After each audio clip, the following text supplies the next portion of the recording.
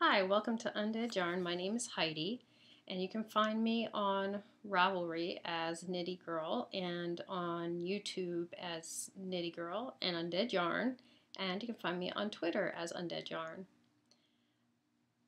And I think I said Instagram. Instagram, you can find me as Undead Yarn. And this is episode 102. How's everybody doing? It's been a while. Um, so today, because it is the beginning of September, I will be announcing two FO thread winners at the end of the podcast, as well as the winner of the YouTube subscriber skein of yarn from uh, Fishnets. So anyway, let's go ahead and get started. This is my Tangerine Designs bag. And in it I have something that I have been working on for a while and I'm almost finished. I was hoping I'd finish it before I recorded, but I didn't. I will hopefully finish it today because there's not much left. Whoops, I dropped it. This is what's left of the ball yarn. and this is uh, Humility by Mel Gill. And it's an asymmetric, well, it's knit from side to side. It's an asymmetrical shawl. Here's the beginning. You can see I have my little stitch marker. I think I got that from Whimsy Stitches. He had a bunch of Texas stitch markers at um, Dallas Fort Worth Fiber Festival. And this is the way it looks. It's got garter along with some lace sections. It's not a hard pattern. I'm making it bigger than the designer did. She said she only used one skein of sport weight yarn. I'm using two. This is my new sport weight yarn. I have not named it yet. I will be discontinuing Witch. It is the same content as Witch. It's 75 uh, superwash merino 25 nylon, but it is a bigger skein of yarn. It is 328 yards. So by the time this is done, this will have be over 600 yards of a shawl. So here I am, and I'm almost done. I'm going to finish on a garter edge. When I'm done all the ridges, I think I will be ready to bind off. I have this amount of yarn. It got 10 more rows. I'm not sure if I'm going to make it to 10 rows. I might make it to 5 more rows and then bind off.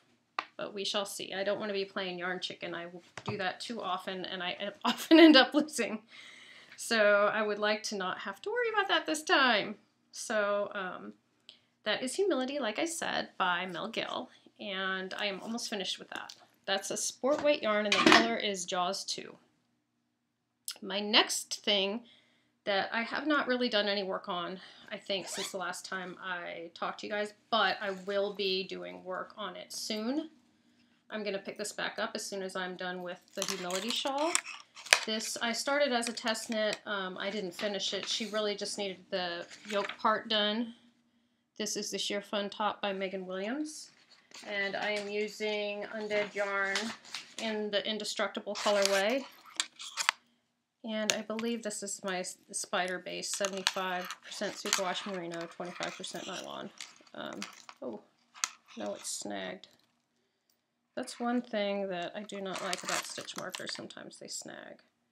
Um, so this is where I am, and no, that's not the color at all. The color is very gold. It's interesting, the other color showed up right, but this is a lot more gold than it's showing in the picture.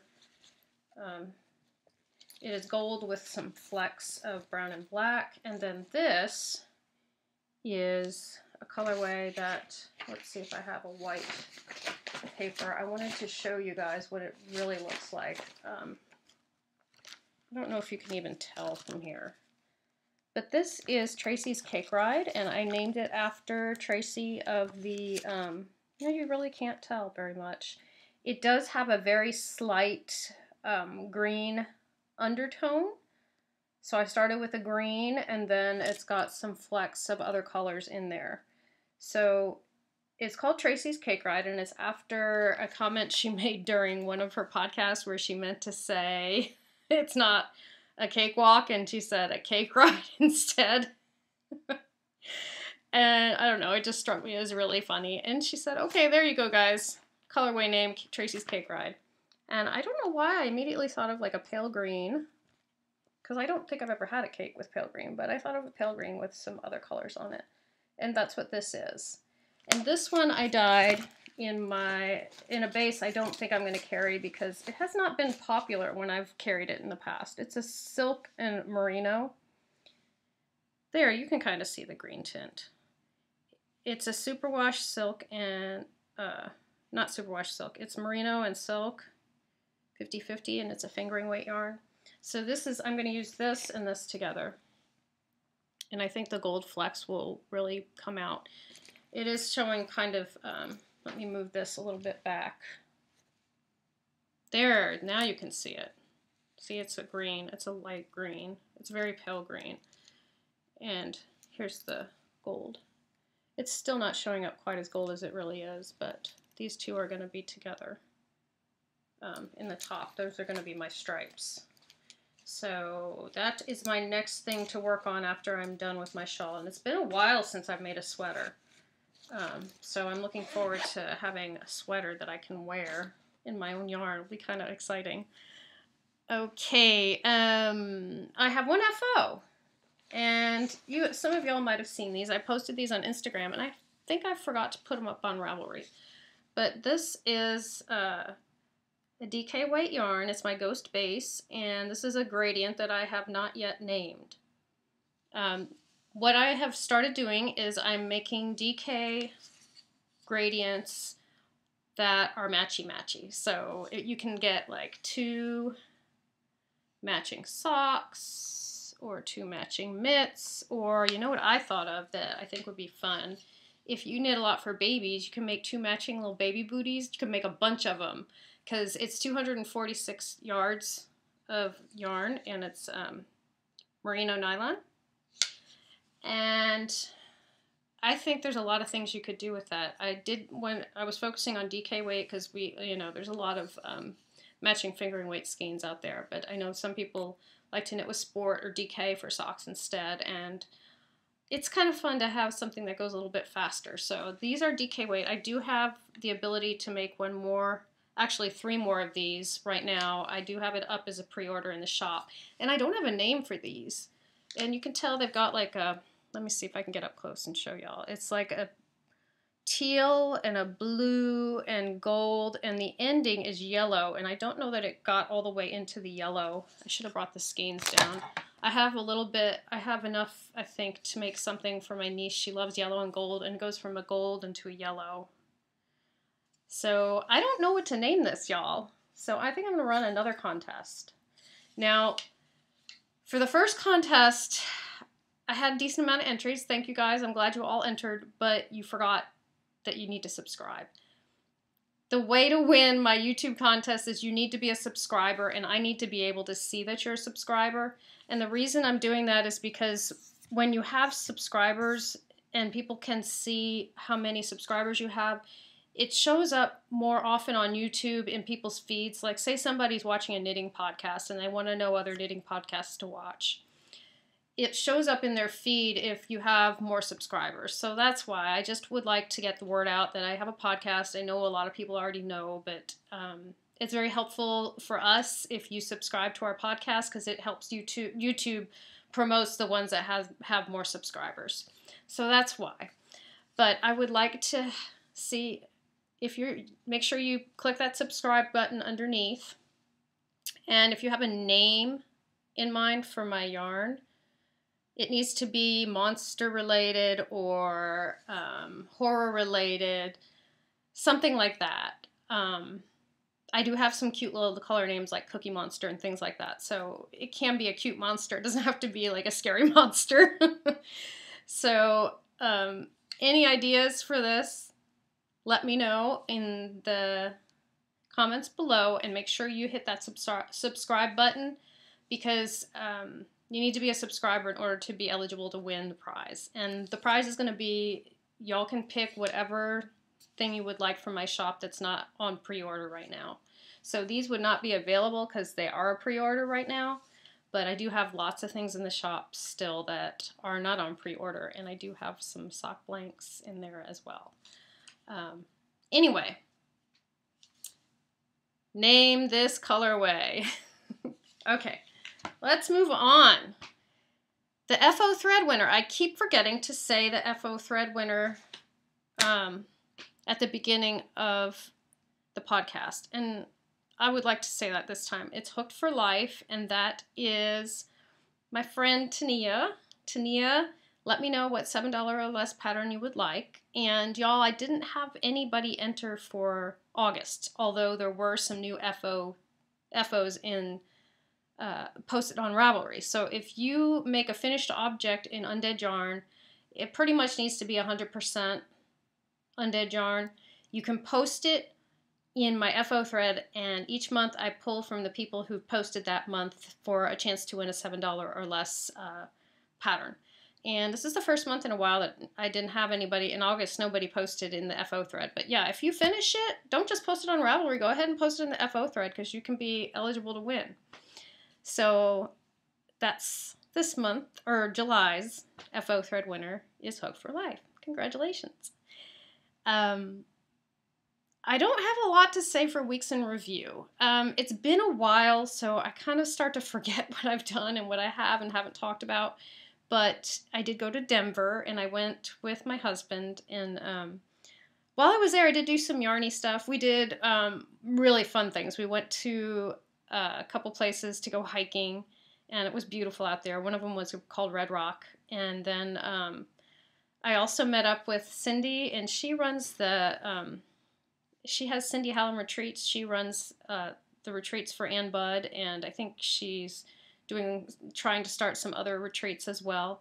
So you can check her out at Cindy Hallam. I think it's cindyhallamevents.com. And I met up with her. I uh, know her from Austin Knitting, the Austin Knitters, and uh, we met up. And I met some of her friends that are from Denver.